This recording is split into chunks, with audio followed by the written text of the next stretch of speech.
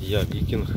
До війни е, і ще під час війни я служив е, у французькому легіоні. Е, Як уже почалась війна, як тільки я повернувся з операції, то я одразу ж приїхав сюди. Ну, бо думав, що Україна програє.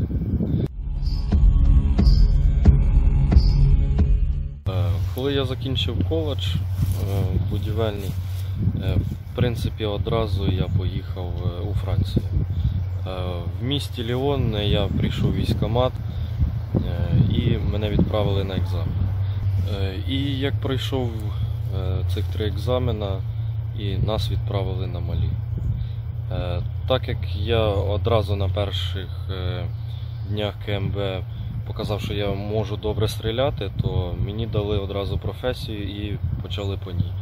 То в мене було не так, як у піхотинця 4 місяці, 8 місяців.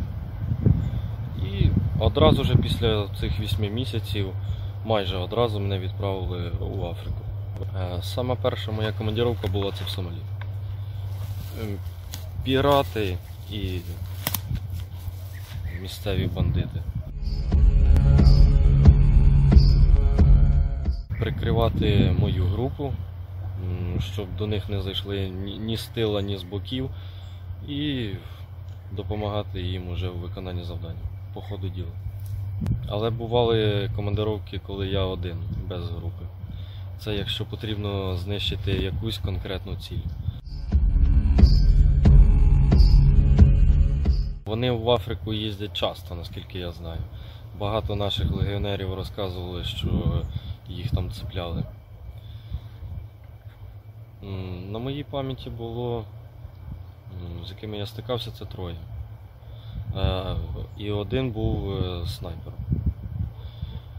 Ми з ним трошки помучились. Перший раз він, е, як ми на нього натрапили, зайшли в поселення, а там, ну як завжди, свої же перерізали своє населення, африканці. Але що було нетиповим, що було видно снайперську роботу. Е, Їх просто поперестрілювали і область е, одна і та ж сама грудь. Зазвичай е, африкоси вони або голову стріляють, або просто голови відрубують. Горло ріжуть, отаке. Ну, як вони казнять своїх села. А тут ми помітили, що щось не то. Але африканці як снайпера, ну я таких ще не бачив. То ми думали, ну, що якийсь то найомник. Мені дали наказ погратися з ним. Так ми півтора місяця в пісочку. Ну, все-таки його зловив. Як мені дали наказ е, з ним погратися, е, то перших пару тижнів особо нічого цікавого не було. Е, Ми цепляли одне одного, позиції прострілювали, е, збивали прибори нічного бачення одне одного. Е, Ось. Ну і старались підібратися поближче, але на пустинній місцевості це не дуже добре виходить. Але потім ми перебралися в долину і там були ну ось чагарники. То там було трохи поцікавіше. Ми вже постріляли. Е, Якось е, йому допомагали е, африканці, їх чоловік 10, а ми були з моїм напарником. До цього я працював один. І він думав, що моя специфіка така, що я працюю сам, більше зі мною нікого немає.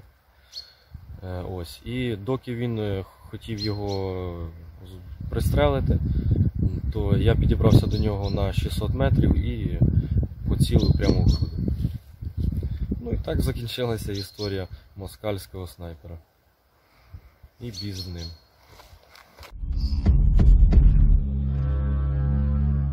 Їхав, е, тому що в мене сім'я тут. Мама, сестра, брат е, і, і інші родичі. Ну і плюс, як же ж можна Україну покинути? Не бувати цього. Е, Ще коли я був в Легіоні, я чув про 36-ту бригаду морської піхоти. І вже як приїхав сюди е, і був в Старичах. І так мені пощастило попасти в 36-ту бригаду, е, які боронили Азовсталь разом з азовцями, які зараз, на жаль, знаходяться у полоні. Але на все воля Божа, і ми їх повернемо обов'язково. І будемо разом з ними в строю йти на Москву. Я думаю, що ми переможемо, звичайно. Україна наваляла другій армії світу, то ми полюбе переможемо. Дай Боже, аби це було швидко, але тут уже як вийде. Потрібна техніка, зброя. Слава морській піхоті, вірний завжди.